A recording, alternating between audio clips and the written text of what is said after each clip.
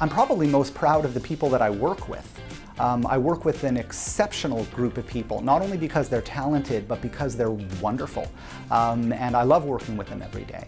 Uh, I'm also really proud of the fact that people at the studio have been so sort of so accepting of my entry into the studio. You know, when I came to Steamroller, I had a lot of ideas and a lot of things that I wanted to try and do to help improve processes and create a really dynamic and fun culture. And that was accepted. There was very little resistance, which just sort of goes to show you the mindset of people in the company.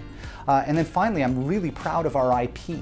The content that we create is amazing. Of course, we have wonderful work that we do with our uh, service partners, but our own content, our own ability to tell stories is also really, really inspiring, and I think it just looks amazing. Uh, Spice Frontier is an animated episodic series that we're working on. We've got an animated feature film called Master. We've just completed our own video game called Curse of the Deadwood. All three of those projects are inspiring to me, um, so I'm really proud of that.